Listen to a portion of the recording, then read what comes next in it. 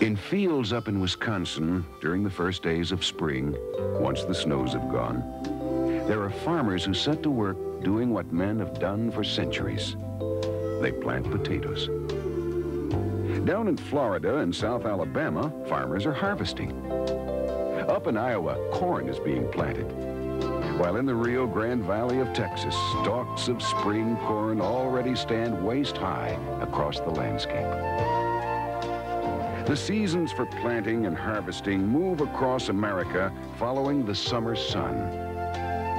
There's a company that makes that journey too, working with special groups of farmers to help them grow some of the finest corn and potatoes in the world.